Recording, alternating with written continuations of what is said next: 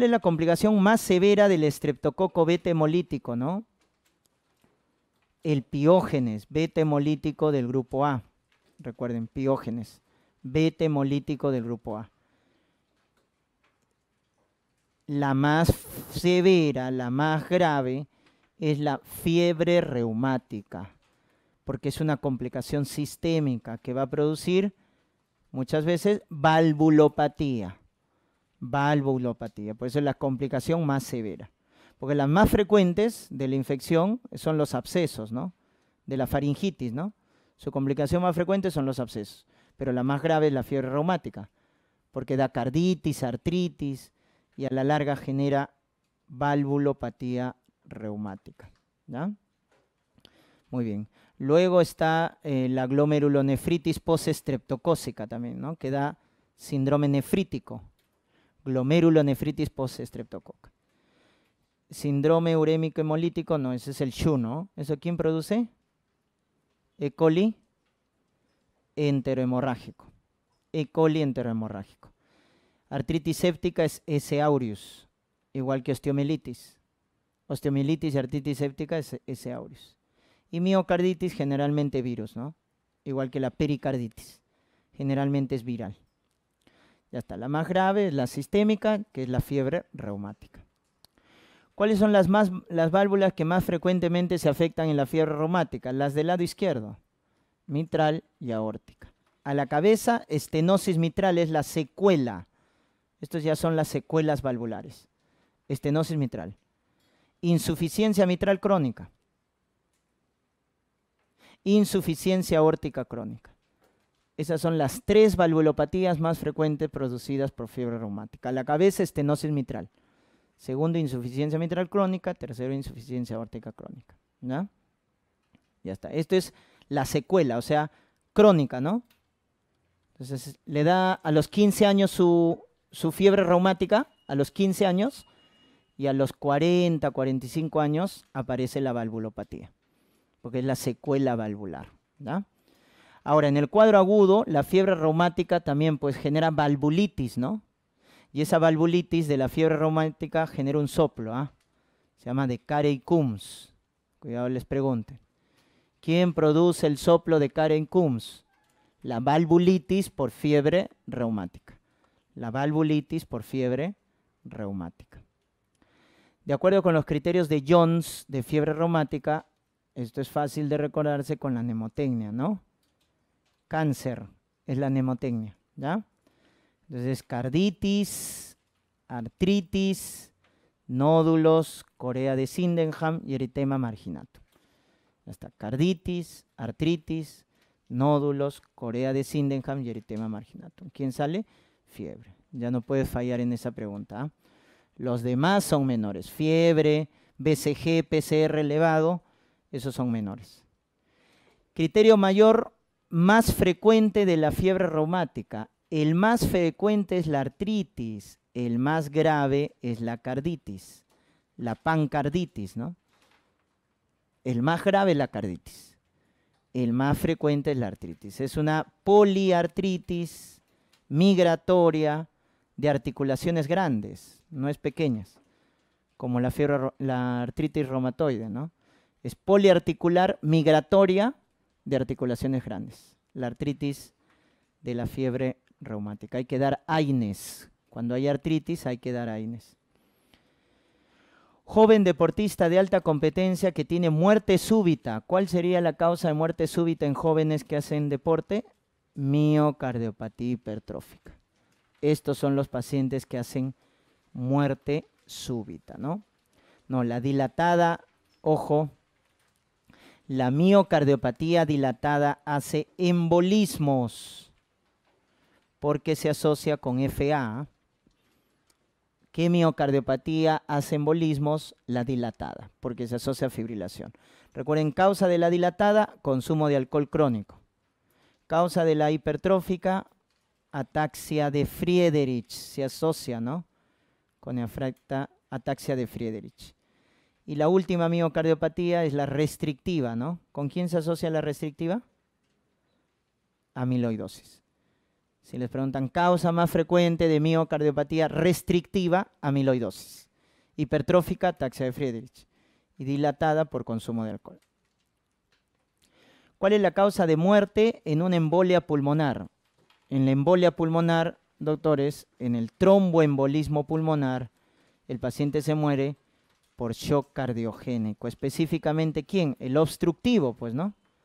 Shock obstructivo, que en algunos casos lo colocan dentro del cardiogénico. ¿Por qué? Porque es una falla en la diástole.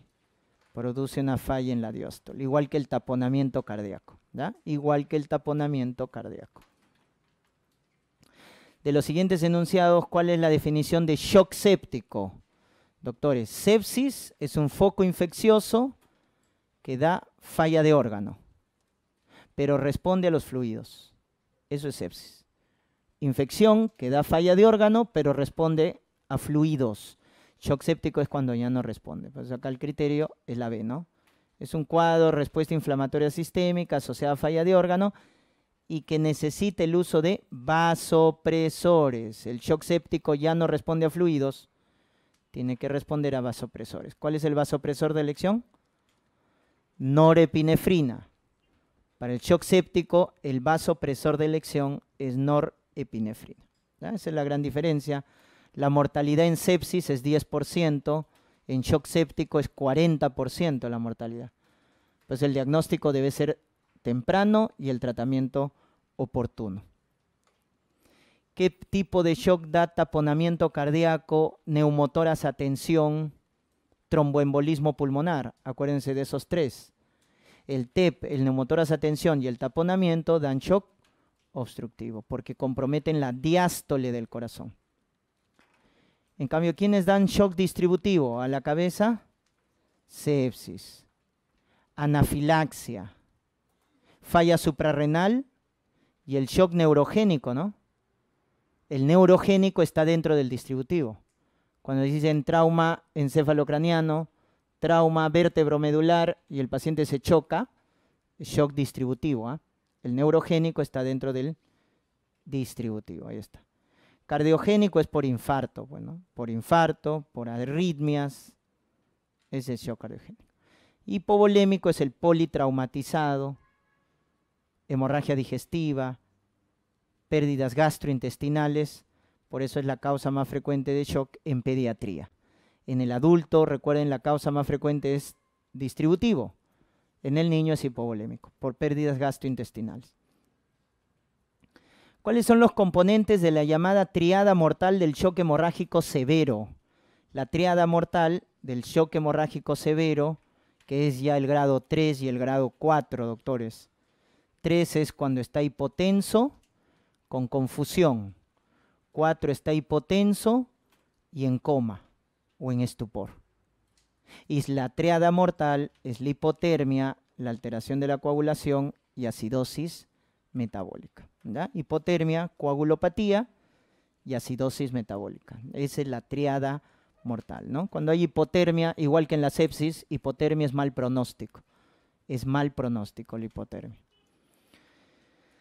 Doctores, cuando un paciente entra en shock, ¿cuál es el sistema que se activa? El simpático. Y del sistema endocrino, la glándula suprarrenal. Entonces, el simpático que va a formar norepinefrina.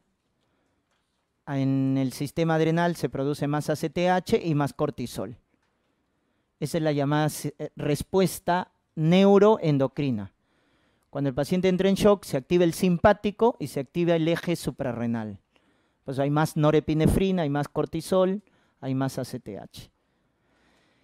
Entonces, ¿qué hace el tono simpático? Levanta la función cardíaca, ya que la norepinefrina va a estimular a los receptores beta 1 del corazón y va a aumentar la frecuencia cardíaca. Por eso tú un paciente chocado lo vas a encontrar así, taquicárdico pero hipotenso ese paciente chocado. Esta es la respuesta compensatoria. Taquicardia sinusal. Eso es paciente en shock. ¿no? Hemos visto en el síncope vasovagal, es al revés, los dos están bajos en el síncope vasovagal. Esa es la respuesta inmediata. También les preguntaron en el 2018, la respuesta neuroendocrina en el shock es descenso del estímulo adrenérgico, no, aumenta el estímulo simpático. ¿Se inhibe la liberación del péptido natriurético? No. ¿Disminuye la liberación de renina? No. Ah, se activa el sistema renina también, angiotensina. La respuesta es la A. Mayor liberación de ACTH y con ello aumenta el cortisol. Es que se activan las dos hormonas del estrés. Recuerden que la norepinefrina, la epinefrina es la hormona del estrés agudo. El cortisol es la hormona del estrés crónico. Entonces, cuando la célula le llega menos flujo, se estresa, ¿no? Por eso manda que se activen estos dos sistemas.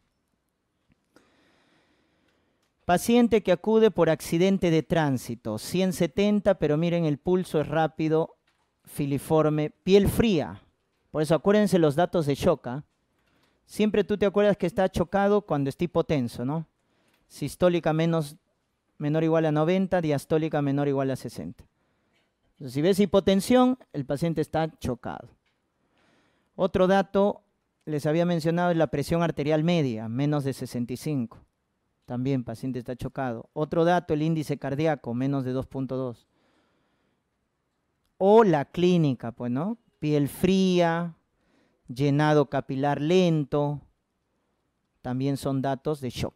Entonces, si tú ves en un caso clínico estos datos, paciente está chocado, paciente hipotenso, paciente con presión arterial media baja, piel fría, llenado capilar. Miren, acá la presión está normal, sin embargo, clínicamente hay datos de hipoperfusión.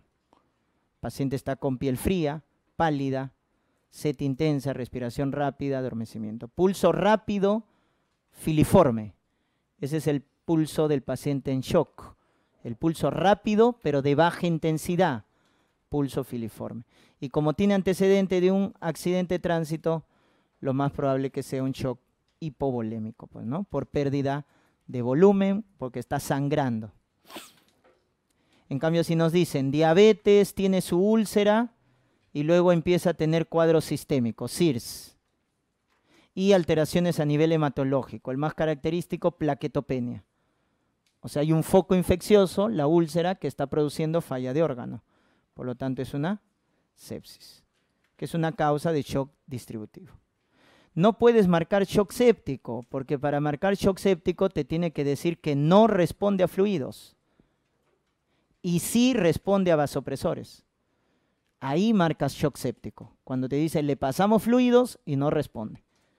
¿Cuánto de fluidos? 30 mililitros por kilo de peso, recuerden, en las primeras tres horas se pasa al paciente con sepsis. 30 mililitros por kilo de cloruro de sodio en las primeras tres horas. No responde, es un shock séptico, que hay que pasarle vas, eh, vasopresores. El de elección, norepinefrina. Y el año pasado te preguntaron, paciente adulto mayor que ingresa con hipotermia, taquicardia, hipotenso, oligúrico, leucopenia, plaquetopenia, miren, acidosis, y le pasan fluidos y vasopresores y no hay respuesta. O sea, acá le das fluidos, le das norepinefrina y no hay respuesta. Y hay datos de mal pronóstico, ¿ya? ¿Cuál es el dato de mal pronóstico? Miren, la hipotermia. La leucopenia. La acidosis metabólica. Esos son datos de mal pronóstico. Esto, doctores, es un shock séptico resistente porque la sepsis, hemos dicho, responde a fluidos. El shock séptico no responde a fluidos, pero responde a vasopresores. Y cuando no responde a fluidos y no responde a vasopresores, se llama shock séptico refractario resistente. ¿Qué le pasamos ahí? Corticoides. Cuando no hay respuesta, hacemos uso de los corticoides como última medida en el paciente, ¿ya? ¿Cuál es el tipo de shock que presenta un paciente con presión media disminuida? Miren, presión arterial media disminuida. paciente está chocado. Pulso filiforme, extremidades frías, llenado lento. Ah, es un paciente en shock. Y como la piel está fría, el gasto está bajo. Ese es el dato. Gasto bajo, ¿no es cierto? Piel fría. Gasto alto es piel caliente. Típico del shock distributivo. En cambio, gasto bajo es del hipovolémico y del cardiogénico. Esos van con gasto bajo y por eso dan piel fría. Y esto ya son el mecanismo compensatorio, ¿no? Las respuestas este, vasculares, ¿ya? Entonces acuérdense en los tipos de shock, si les dicen, ¿no? Un paciente que tiene, eh, tiene caída del gasto cardíaco, piel fría, pero está seco, ¿no? ¿Por qué? Porque su presión capilar pulmonar está normal. Entonces, piel fría y seco. ¿Qué tipo de shock es? Hipovolémico. Y como el gasto ha bajado, la resistencia aumenta y este es el mecanismo compensatorio. Esta es la compensación. ¿Correcto? Ya está. Esta es la lesión inicial. Cuando hay un shock hipovolémico, el gasto cae está seco, la compensación es aumento de la resistencia para mantener la presión. Porque recuerden que gasto por resistencia es presión. Si a ti te dicen gasto bajo, pero el paciente está con edema agudo de pulmón, ¿qué shock es, doctores? Cardiogénico. Es un paciente chocado, húmedo, con crépitos, cardiogénico. O el obstructivo también. Ambos son cardiogénicos. La diferencia es que en cardiogénico falla la sístole, en el obstructivo falla la diástole. Acá también la resistencia va a estar aumentada, porque es el mecanismo compensatorio de la caída del gasto.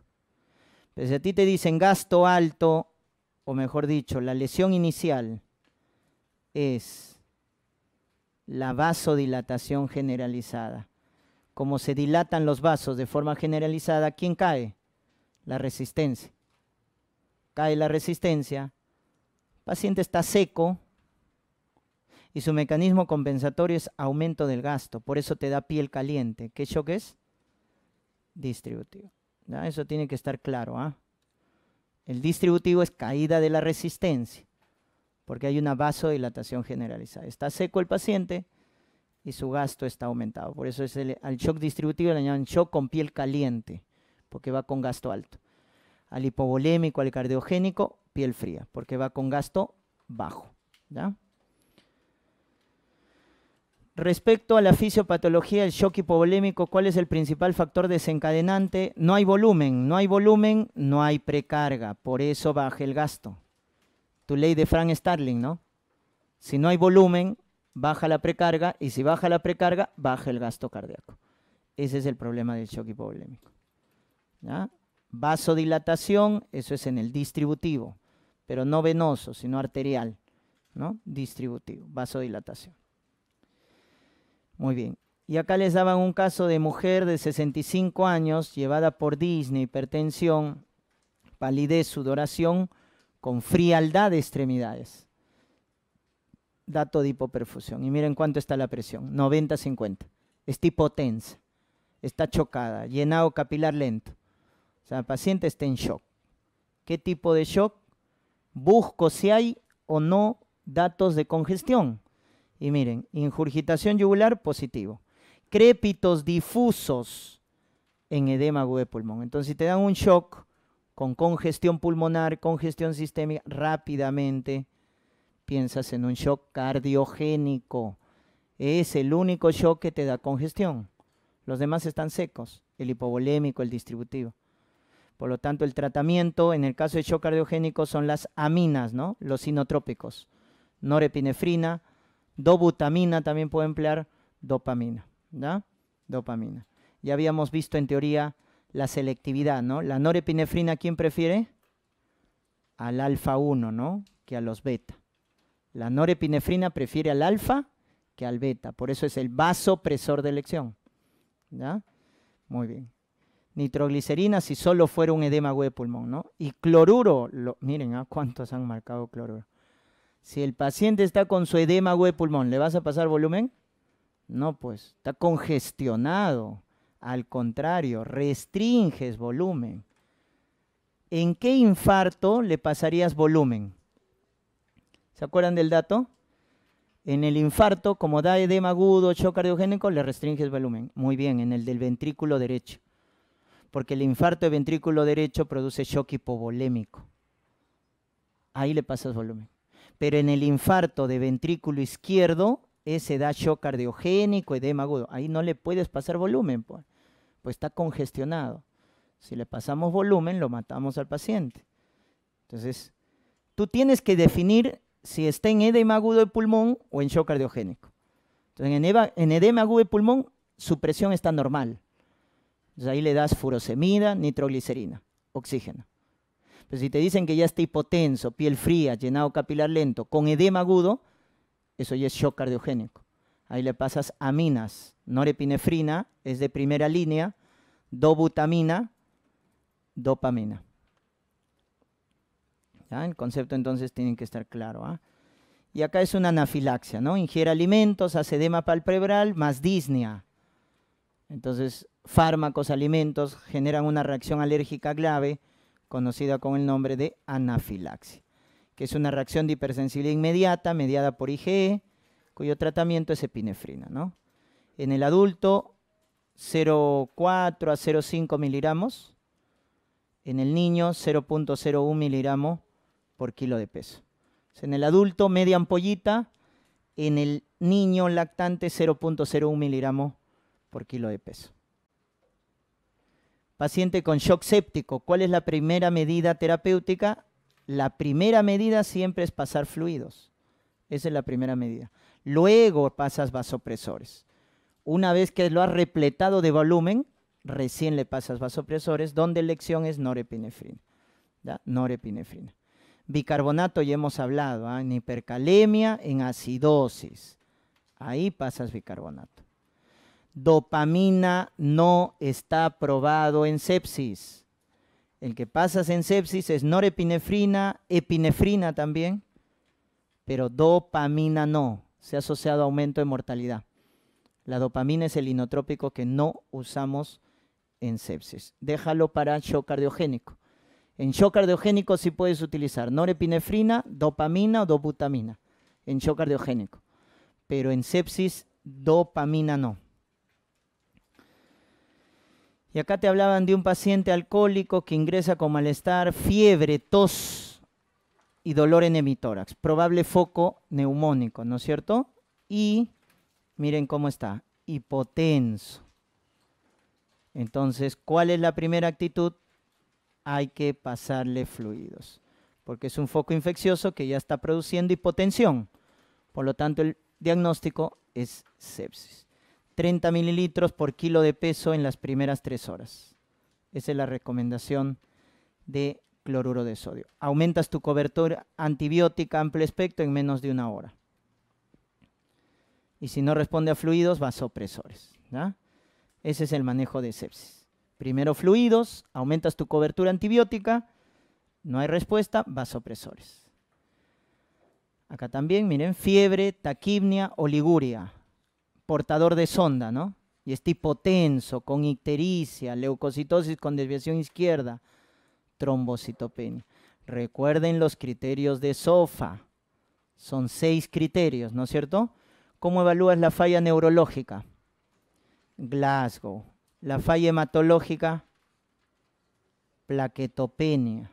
La falla respiratoria, PAFI.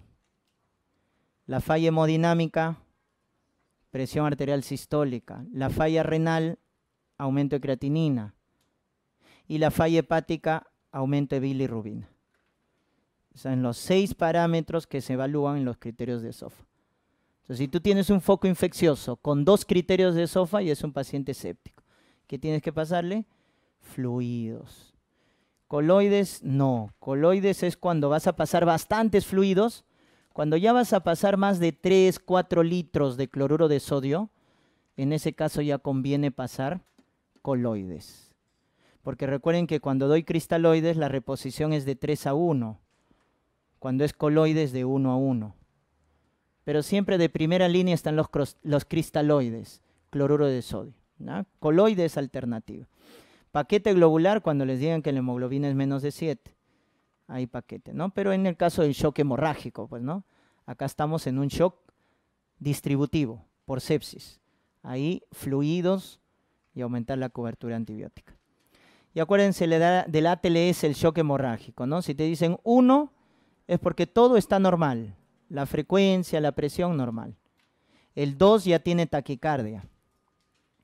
El 3 tiene taquicardia con hipotensión y está confuso.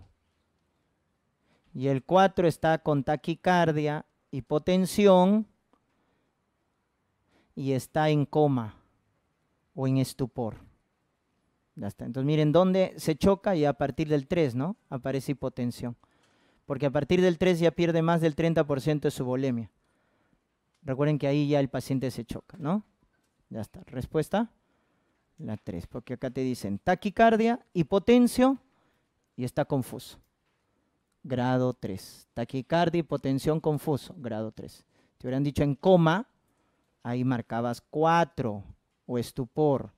El 1 no, pues el 1 está normal y el 2 solo tiene taquicardia. Acá te dice que ya tiene hipotensión.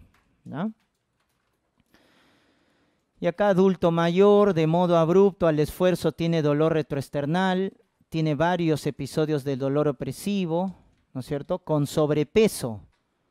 Segundo ruido aumentado, murmullo audible, no ruidos agregados, resto de examen normal. ¿Será un TEP? ¿Qué factor de riesgo tenemos para TEP como tal? Sobrepeso no es, obesidad el factor de cáncer, reposo prolongado, etc. Además, este es un cuadro crónico, te dice antecedente de tres episodios de dolor, ¿no? Entonces, no. Acá la patología es probablemente una cardiopatía isquémica, pues, ¿no? Una cardiopatía. Adulto mayor, varón, y que tiene dolor de pecho asociado al esfuerzo, debo descartar una cardiopatía isquémica. Por eso la respuesta cardíaca, pues, ¿no? no es respiratoria, es cardíaca. Varón de 65 años, seis horas después de prostatectomía con hematuria severa, miren lo que hace, hipotensión. Se ha hecho un shock hipovolémico por pérdida de sangre. ¿Cuál es la conducta? Fluidos. ¿Cuál es la que te da eso? La B. Mantener el volumen arterial efectivo, ¿no? O sea, pasarle bastante fluido, porque está haciendo un shock hipovolémico con falla renal. En el caso del shock hipovolémico, recuerden, es de 10 a 20 mililitros por kilo de peso. Y cuando la hemoglobina es menos de 7, pasar paquete globular. ¿ya? Paquete globular. 10 a 20, ¿no? En sepsis es 30 mililitros por kilo de peso. Ahí está, miren. Shock hipovolémico, 10 a 20 mililitros o 1 a 2 litros a chorro. 1 a 2 litros a chorro. Cuando hay un shock hipovolémico, pasamos 1 o 2 litros a chorro o 10 a 20 mililitros por kilo de peso. ¿Y hasta cuándo transfundimos? Hasta que la hemoglobina es más de 7. Ahí suspendemos la transfusión. Cuando ya la hemoglobina es más de 7, suspendemos la transfusión, ¿no? Y en el paciente con shock, ¿cuál de las medidas iniciales de máxima prioridad? fluidos y oxígeno. Eso es para todo paciente, ¿no? Oxígeno, fluidos, cuando está con shock hipovolémico, cuando está con un shock, en este caso distributivo, hay que pasar rápidamente fluidos y oxígeno. Vasopresores es después. Primero es la fluidoterapia. Paciente extraído de emergencia con hemorragia alta y baja masiva. ¿Cuál es el plan de trabajo a ejecutar inmediatamente? A ver. Los que han marcado acá paquete globular es correcto hasta cierto punto. ¿Por qué? Porque si el paciente tiene una hemorragia masiva, es probable que la hemoglobina esté menos de 7. Por lo tanto, hay que pasarle paquete globular. Pero ¿cuál es el problema acá? Que cuando el sangrado es masivo, doctores, ustedes van a tener que pasar muchas veces 5 a 7 paquetes globulares a más. Cuando el sangrado es masivo, hay que pasar bastantes paquetes globulares. Entonces eso no es conveniente porque al paciente lo vamos a sobrecargar de volumen. Porque recuerden que cada paquete globular tiene 350 mililitros de volumen. Entonces si pasamos más volumen, hacemos una sobrecarga de volumen. ¿Ya? Entonces, por eso que cuando es masivo, ya no es preferible solo pasar paquete globular, sino infusión de sangre total. Y esa es la única indicación para pasar sangre total, cuando el sangrado es masivo, cuando el sangrado es severo. Y voy a tener que pasar más de 5 a 7 paquetes globulares. Esa es la indicación para pasar sangre total. Porque ustedes saben que de la sangre total se sacan ¿no? derivados, que viene a ser el paquete globular, que solo contiene glóbulos rojos, plasma fresco congelado y plaquetas. Tú de la sangre total sacas eso. Paquete globular, plasma fresco que tiene factores de coagulación y plaquetas. Pero si el paciente tiene un sangrado masivo, ¿para qué lo vas a diferenciar? No? Porque cada vez que también tú pasas varios paquetes globulares, tienes que pasar plaquetas. Y si está alterado el perfil de coagulación, tienes que pasar factores de coagulación. Es por eso que cuando es masivo es la indicación de para pasar sangre total. Por eso la respuesta es la A. ¿Ya, doctores? Ya está. Muy bien. Obviamente hay que contener la hemorragia, pero hasta contener la hemorragia, ese es ya el manejo específico, ¿no? Lo primero es reponer la volemia. Coloides hemos dicho no, en este caso es hemorragia y plasma tampoco, ¿ya? Entonces, ojo, esa es la única indicación para pasar sangre total. Cuando les digan sangrado masivo severo o cuando voy a transfundir más de 5 a 7 paquetes al día, es mejor pasar sangre total. Y en esta pregunta del año pasado, que les colocaban un paciente con diarreas severas, vómitos, y miren cuánto estaba su presión. 60-40. Y estaba con taquicardia. O sea, era un shock piel fría, ¿no? Shock hipovolémico por pérdidas gastrointestinales. Entonces, doctores, y les preguntaban cuánto de volumen debo pasar. Cuando la pérdida es por pérdida gastrointestinal en el shock hipovolémico, habíamos visto en teoría que tienes que sumar las pérdidas insensibles, que es 1.5 litros. Y a esto le agregabas tu bolo, que es 20 mililitros por kilo de peso. Esa era la reposición. Entonces pesa 60 kilos, 60 por 20 es 1.2 litros, ¿no es cierto? Más 1.5, 2.7 litros. Entonces con AREM da como clave la B, que es el que más se acerca. Entonces la pérdida es insensibles más el bolo de 20 mililitros por kilo. Por eso hay que pasar 3 litros. ¿ya? Cuando es hemorrágico es 10 a 20 mililitros por kilo cuando es hemorrágico, 10 a 20 mililitros. Cuando es gastrointestinal tienen que considerar las pérdidas insensibles. ¿Ya, doctores? Bien, ahí hemos terminado.